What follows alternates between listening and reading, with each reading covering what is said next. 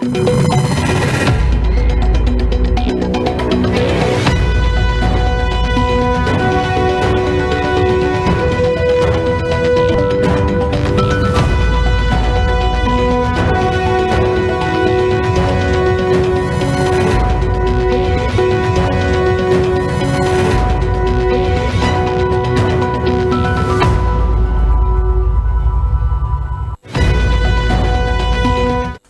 propositions de loi déjà adoptées par l'Assemblée nationale restent encore non adoptées par le précédent Sénat, selon le rapport de la secrétaire générale de cette institution.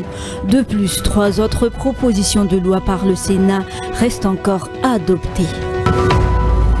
L'exportation de girofles de Madagascar est classifiée de grade 3 seulement au niveau international, alors que le Zanzibar ou les Comores fournissent des girofles de grade 1.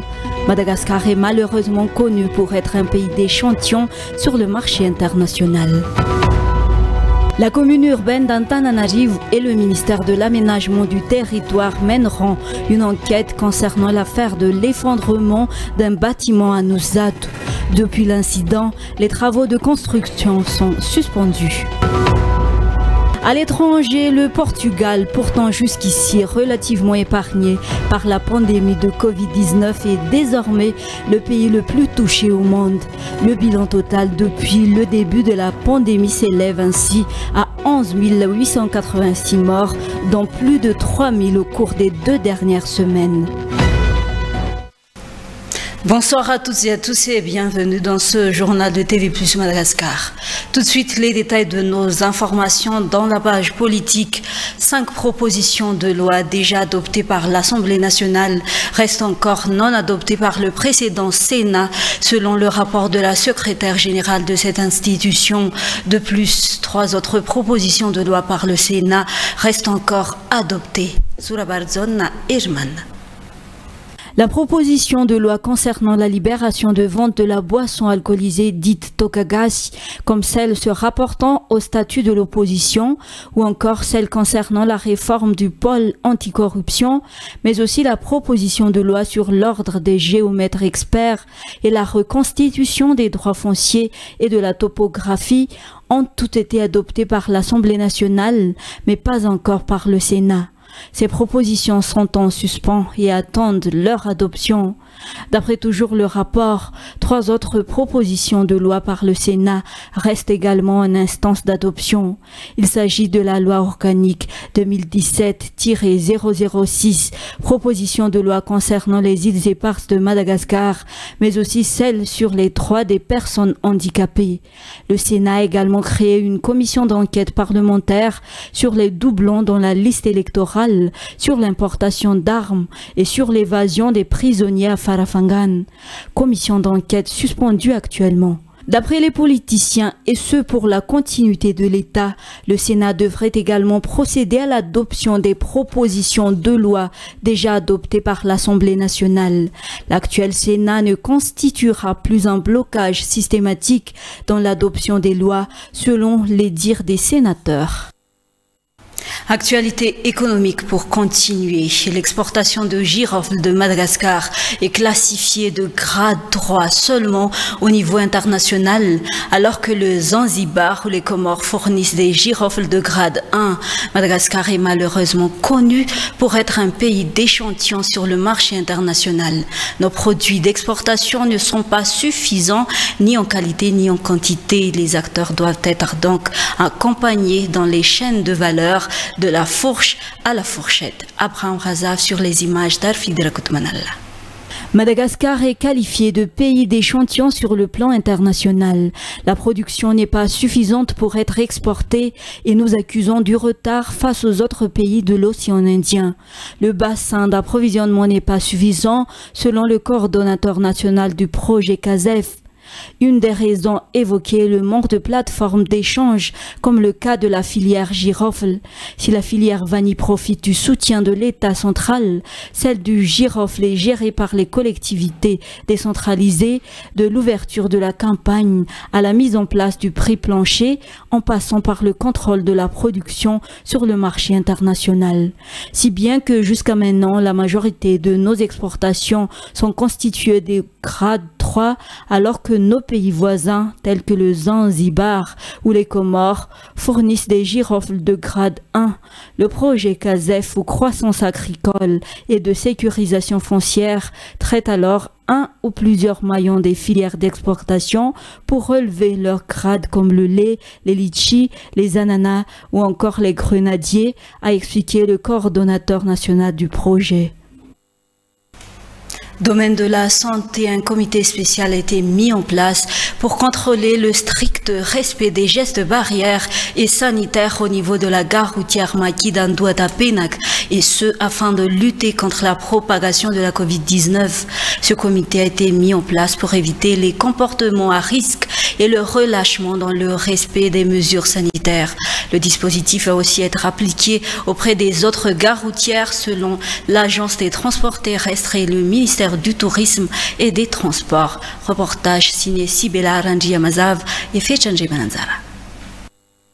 Un comité a été mis en place spécialement au sein de la gare routière Makidando à Tapenak afin de contrôler le respect des mesures sanitaires. En effet, les passagers ont tendance à se relâcher en la matière au fur et à mesure que le temps passe, alors que Madagascar fait face à un risque de deuxième vague des contaminations à la Covid-19. Ce comité a pour principale mission d'éviter la gabégie en matière de respect des mesures sanitaires. Les moyens de transport transports en commun comme les taxis brousse sont connus pour être vecteurs de propagation du virus de par l'existence des flux des passagers et par conséquent des contacts et interactions. C'est ainsi que le comité va œuvrer à ce que les gestes barrières et sanitaires soient effectifs. Dès l'arrivée à la gare avec le port correct de masque, le lavage des mains avec du savon, la prise de température et le passage sous le tunnel de désinfection et surtout le remplissage du manifold pour le traçage de chaque passage. Les désinfections des véhicules seront aussi contrôlées. Le dispositif va aussi être appliqué au niveau des autres gares routières selon l'ATT et le ministère des Transports. La commune urbaine d'Antananarivo et le ministère de l'Aménagement du Territoire mèneront une enquête concernant l'affaire de l'effondrement d'un bâtiment à Nusizat. Depuis l'incident, les travaux de construction sont suspendus. En outre, la commune a déjà dans son collimateur une autre infrastructure près du bâtiment effondré. Suspecte, cette construction a également été suspendue. Stiavandoni Ivarasata. L'incident de l'effondrement du bâtiment d'Anusat, qui avait conduit à la mort d'une personne, n'est pas resté sans suite. En effet, la commune urbaine d'Antananarive et le ministère de l'Aménagement du Territoire ont décidé d'ouvrir une enquête sur l'affaire. Dans l'intérêt de la population, soutient le directeur de l'urbanisme au niveau de la commune. Ils enquêteront sur le ou les responsables de cet accident meurtrier. D'ailleurs, les responsables au sein de la commune urbaine d'Antananarive avouent avoir ignoré l'existence de la construction. Nous n'étions pas au courant de la construction puisqu'elle se trouvait cachée dans l'enceinte, toujours selon le directeur de l'urbanisme, pour ensuite qualifier la construction d'illicite et d'irrégulière.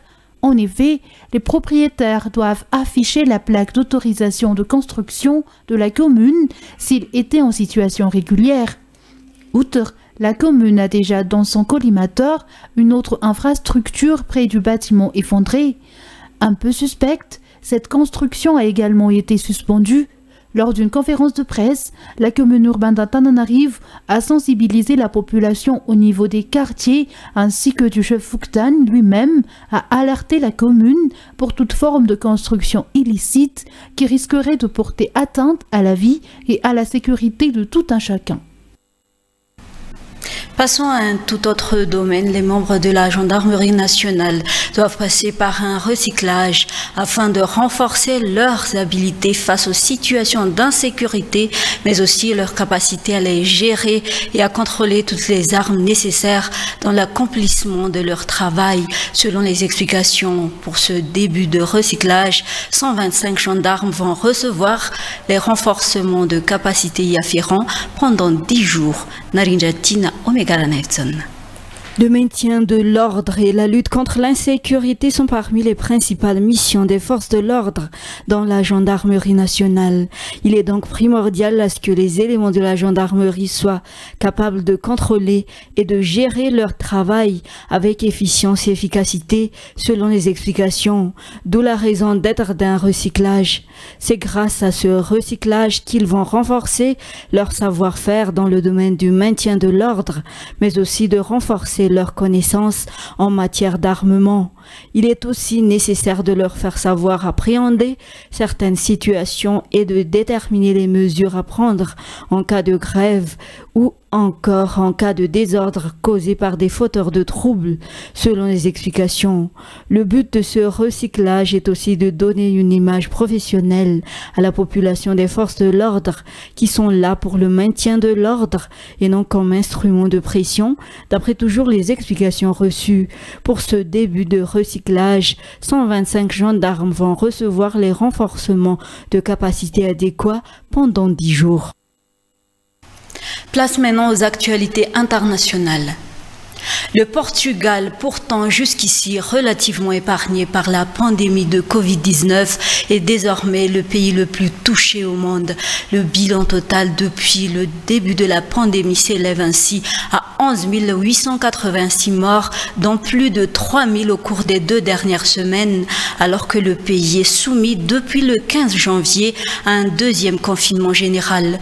Les hôpitaux sont saturés, la pression sur le système de santé vétuste du Portugal est telle que la ministre de la Santé envisage de faire appel à l'aide européenne. Reportage. Dans le plus grand hôpital du Portugal, à Santa Maria, les ambulances affluent jour et nuit. À l'image des services de santé du reste du pays, l'établissement est débordé. dos contágios, um descontrole completo da pandemia.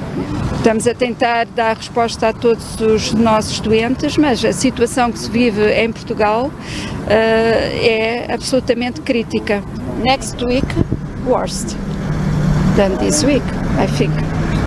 La pression sur le système de santé vétuste du Portugal est telle que la ministre de la Santé envisage de faire appel à l'aide européenne. Devant le service des urgences, les proches des malades sont dévastés. A situação é que já estou aqui desde as quatro e meia da tarde de ontem. Nunca pensou viver uma situação destas. Isto parece um estado de guerra, isto. Está toda a gente com medo, toda a gente tem medo de sair de casa e a gente não sabe mesmo o que é que, o que, é que vem por aí ainda. À quelques pas de là, les rues de la capitale se sont vidées. Pour stopper la propagation du virus, le pays est confiné. Seuls les services de première nécessité sont ouverts, comme cette boulangerie. Agora está muito tranquilo, vemos poucas pessoas na rua e pronto, as pessoas vêm cá só pegar numa caixinha e levar para casa. Les rares passants sont inquiets. Portanto, em Portugal o confinamento está a ser, é, é bastante duro, é bastante restrito. O futuro é muito sombrio.